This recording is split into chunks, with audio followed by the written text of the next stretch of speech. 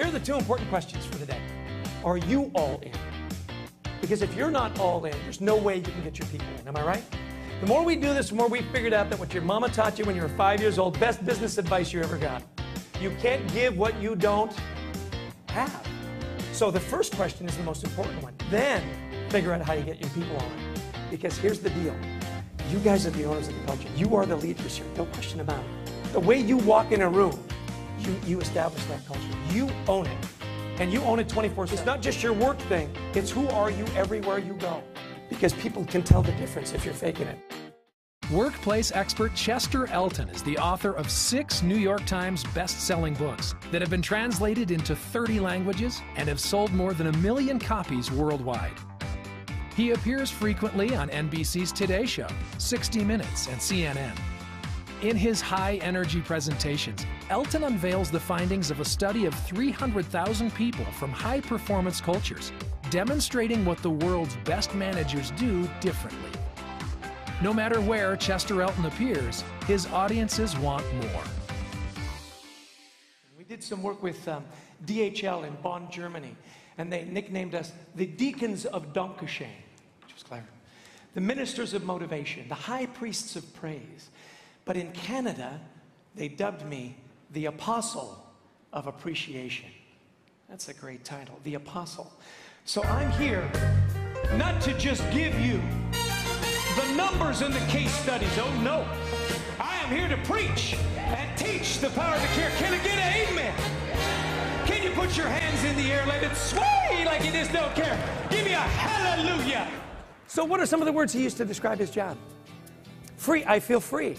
Great one. I can be who I am. I can be who I am. He loves his job. That's the dishwasher at that restaurant. What do you think the rest of the house looks like? Do you think they're rocking? Absolutely. See, I want you to ask yourself the question who's your dishwasher? And do they get it? Because culture just doesn't live in those win beliefs and those posters. It lives in every one of your people that picks up the phone, interacts with a customer, or does something for another department. See what I'm saying? And if the dishwasher gets it, everybody gets it. We did some really cool work with Saks Fifth Avenue. How many have been to Saks? Yeah, kind of cool. Um, different than Walmart, would you agree? Yeah, you do a lot more looking at Saks, a lot more buying at Walmart, right? Yeah.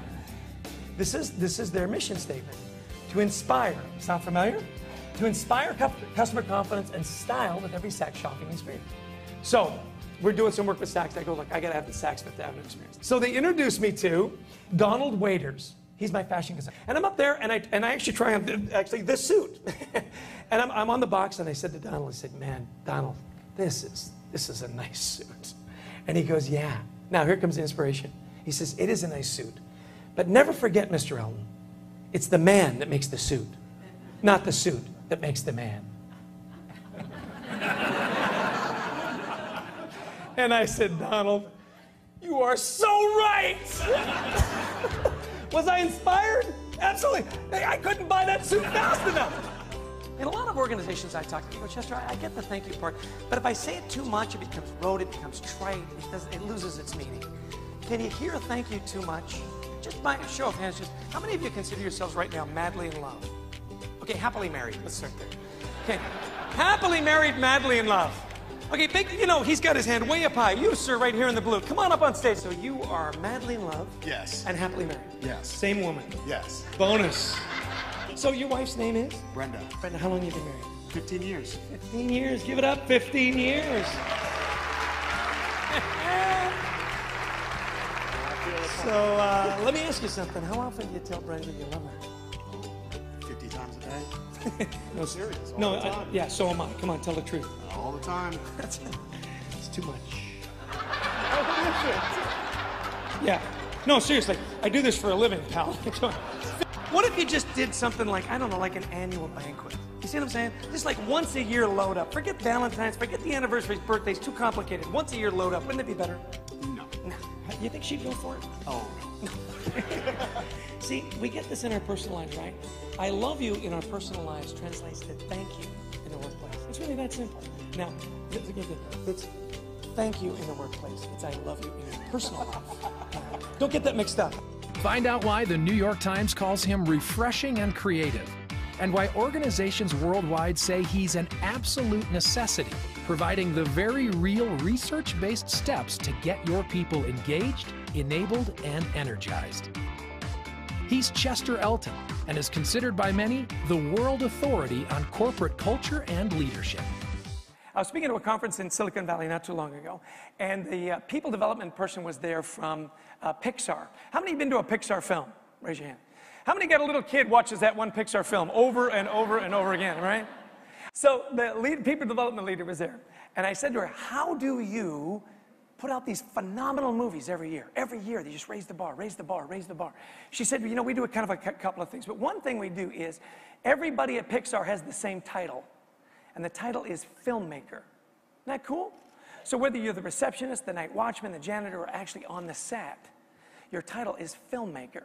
Now, if you're a filmmaker, what do you get at the end of the film? You get a credit. That's right. Watch your next Pixar film. You know, at the very end, every employee gets a credit at the end of the film. They do another cute thing, talk about, you know, emotional engagement. If you have a baby born during the filming of the movie, your baby gets a credit at the end of the film. everybody. I know, right?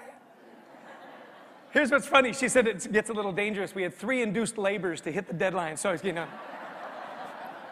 he's a preemie, but he's a filmmaker. Carlos Aguilera, he's a manager for Avis Budget in Dallas. Now, Carlos manages 500 people in Dallas. And here's what he does he doesn't go up and say, Hey, can I talk to you? He puts 10 pennies in his left pocket every day. And with those 10 pennies, he sets a goal to have 10 positive interactions every day with his people. And every time it happens, he takes a penny, puts it in his other pocket. He says, if I get to lunch and I've got nine pennies in my left pocket, I haven't been doing my job. Now, what are his results? Number one in the world for customer retention, customer satisfaction, profit, and has the highest employee engagement and the lowest employee turnover because they know that Carlos cares about them. I was working with a group and they said, uh, What's balance? He said, It's one to one. Manager says one to one. For every compliment, there's a criticism. That's balance. I said, Really? I want you to do me a favor. I want you to try that at home. You know, your wife comes out, she's all dressed up, nice night out. Honey, how do I look in this dress? Great color, makes you look fat. That's balance. That's what they talk about at the divorce proceedings. One to one is negative, two to one is negative, three to one is neutral, four to one is positive, five to one is ideal. In fact, Harvard School of Business says 5.6. Are you careful with your ratio? When your people see you coming, are they excited to see you or do they cringe? How many of you think you can get too much recognition at work? Too much. How many not enough? You can never get enough. How many of you have actually ever gone home to your spouse and said, you know what? I got way too much recognition at work today I'm telling you. They came back like the fifth or sixth time. I said, stop. Is there potential locked within your culture? Chester Elton will change the way you lead and inspire your people. What I love about what we do is that we make work more rewarding. You know, and when you love what you do and you love who you do it with, you just do it better.